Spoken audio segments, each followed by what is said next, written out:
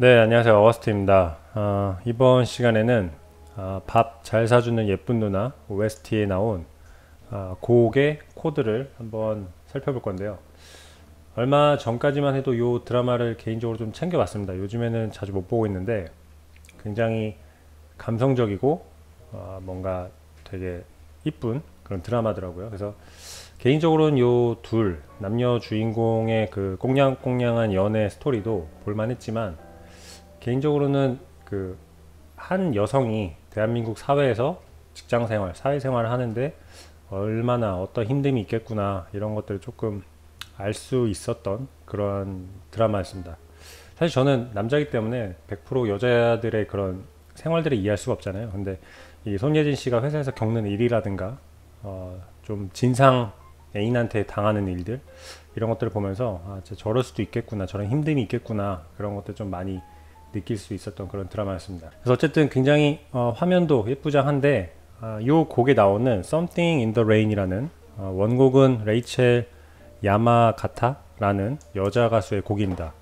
이 여가수는 이렇게 생겼고요. 그래서 구글에 찾아보시면 더 많은 이미지를 보실 수 있는데 어, 저 같은 경우에는 곡 같은 거를 연습을 할 때 예를 들어 지금 이제는 이번 영상에서는 뭐 비 오는 날 치면 좋은 코드를 알려드릴 텐데 이런 식으로 뭔가 컨셉에 맞는 코드나 멜로디를 혹은 드럼 뭐 곡 전개 이런 것들을 짤 때 이런 식으로 좀 아티스트를 digging하는 편이거든요. 그러니까 예를 들어서 만약에 비 오는 날 찍기 좋은 아티스트를 요 레이첼이라는 가수를 알게 됐다 하면은 요 가수의 전 이제 discography가 되겠죠. 그런 것들을 들어보고 그 다음에 이와 관련한 또 여러 아티스트들 을 들어보면서 내가 나중에 이런 비 오는 어떤 컨셉의 곡을 찍을 때 어, 관련 아티스트들을 분석을 하면서 화성적으로 사운드적으로 어떻게 해야 하는지 약간 그런 식으로 공부하는 편입니다.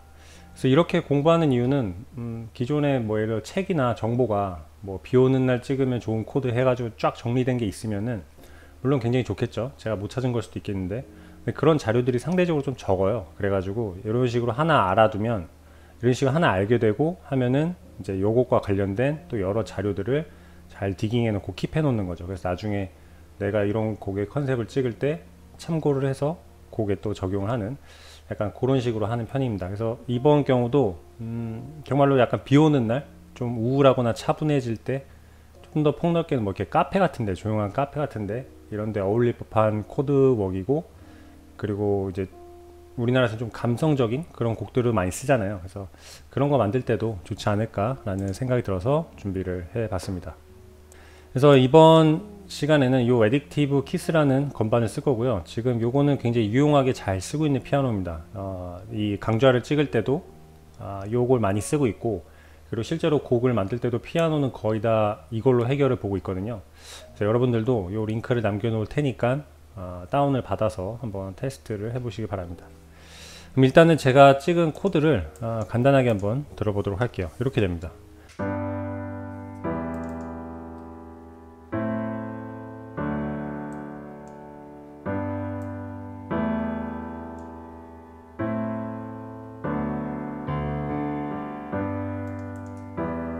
이렇게 되는데 어, 기본적으로 voicing은 일단은 전혀 하지 않았고요. 기본 3 화음만 찍었습니다. 그래서 그 코드가 어떻게 되냐면 이렇게 됩니다. 처음에 G 메이저, E 마이너, A 마이너, D 메이저 쳐보면은 G는 이제 G, B, D가 되겠죠?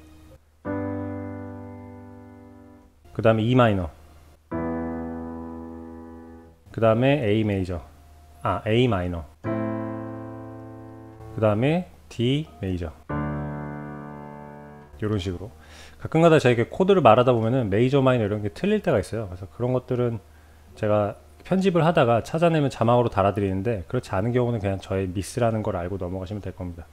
뭐 만약에 지금 같은 경우는 A 마이너로 적어놨는데 말로서는 A 메이저라고 할 때가 있거든요. 그러면 말실수라는 걸 좀 인지하시면 될 것 같아요. 어쨌든 처음에 G 메이저고 그 다음에 E 마이너인데 E 마이너 노트가 아, 이1 근음 노트가 inversion 된 거죠. 그래서 여기 노트로 보면은 지금 G, B, E로 돼 있잖아요. 요게 그래서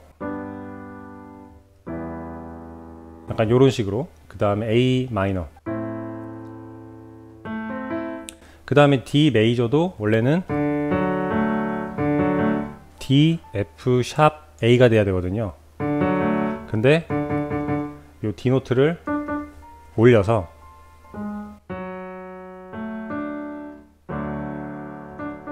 이렇게 쳤습니다.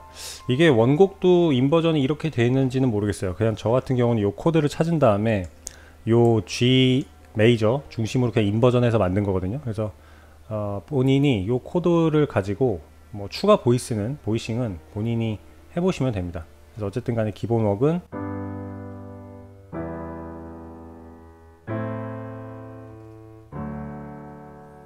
곡이 굉장히 차분하고 어, 또 비 오는 날에도 굉장히 잘 어울리는 그런 패턴입니다. 네, 이 곡 같은 경우에는 여기 G 메이저 스케일을 썼죠. 그래서 처음에 G 메이저, 그 다음에 E 마이너, 그 다음에 A 마이너, 그 다음에 D 메이저. 이거 같은 경우도 어, 제가 맨날 설명했던 게 4, 5, 6도를 기본으로 보잖아요. 그래서 4, 5, 6도, 5도와 6도에다가 플러스 알파 하는 건데 그 알파 하는 개념이 1도와 2도를 넣었다. 뭐 이렇게 봐도 되고요. 그리고 댓글 중에 어, 이걸 굳이 어, 1, 2, 5, 6도를 쓴 패턴이라고 설명하지 않고 4, 5, 6도에서 한 거는 그냥 이렇게 보기 편하게 하기 위함이냐 라는 댓글도 봤었는데 맞습니다. 그냥 이거를 1, 2, 5, 6도를 쓴 패턴으로 봐도 무방해요. 그래서 어떤 다른 느낌을 만들 때 스케일을 바꿔서 1, 2, 5, 6도를 써도 상관이 없는데 굳이 4, 5, 6도를 중심으로 보는 프레임을 갖는 이유는 요 4, 5, 6도를 일반 기본으로 많이 써서 어, 팝이나 가요에서 만들어지기 때문에 이거는 그냥 제가 그 음악을 만들 때 갖고 있는 저만의 화성학 프레임 정도가 됩니다.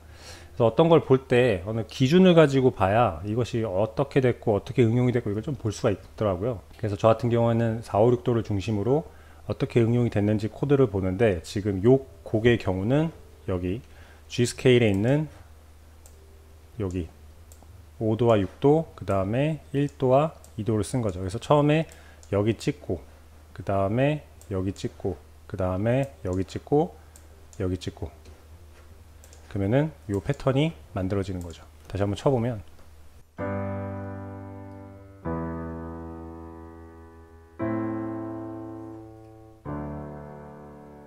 피아노에다가 어 뭔가 좀 더 풍성하게 만들고 싶을 때 패드라는 악기를 뒤로 깔면은 이 피아노가 좀 더 풍성해지는 그런 그림을 볼 수 있거든요.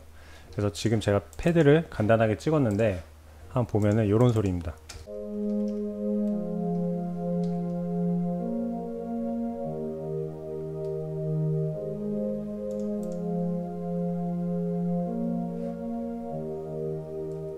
그래서 여기다가 이제 피아노랑 섞게 되면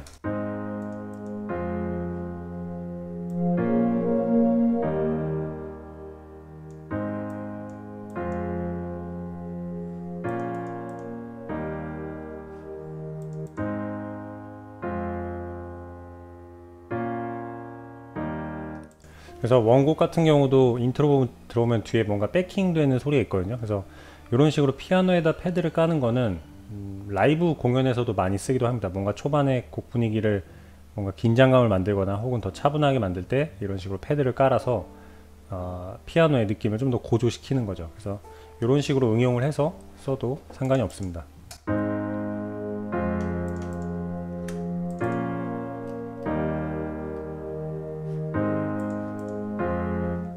그래서 이 패드 같은 경우는 코드는 똑같은데 아까 그 피아노보다 한 옥타브 올려서 그림을 맞춰 놓은 거예요. 그러면은 좀 더 피아노보다 한 옥타브 위에서 감싸주기 때문에 좀 더 이렇게 채워지고 좀 up된 그런 느낌이 나죠.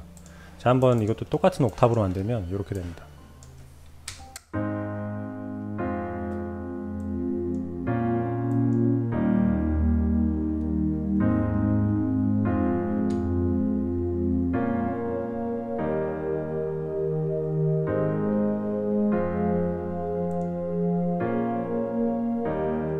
지금 제가 좀 잘 들리게 하려고 패드를 오버해서 소리를 키워놨는데 어쨌든 이런 식으로 메인 피아노가 있으면은 여기에다 좀 더 고옥타브를 해가지고 깔면은 좀 더 채워지는 그림을 만들 수가 있죠.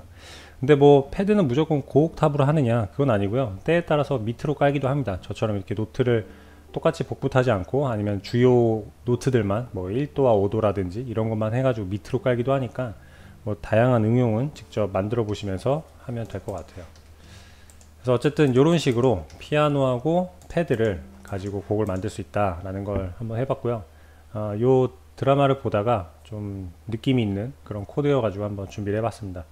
그래서 비 오는 날 되게 감성적인 어떤 무언가를 찍길 원하시는 분들에게 요 내용이 도움이 되셨길 바라고 이번 영상은 여기까지 하고 저는 또 다음번에 더 좋은 내용을 갖고 찾아뵙겠습니다.